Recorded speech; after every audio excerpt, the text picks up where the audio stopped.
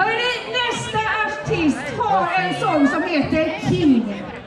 Jag dejtade en kille som hette, han kallade sig själv för King. Oironiskt. Första gången vi skulle ha sex så sa jag det. Jag gillar när man tar ett stadigt tag i mitt hår. Då gjorde han det. Han tog ett stadigt tag i mitt könshår. Han var inte raggare. En tumme upp från killen där.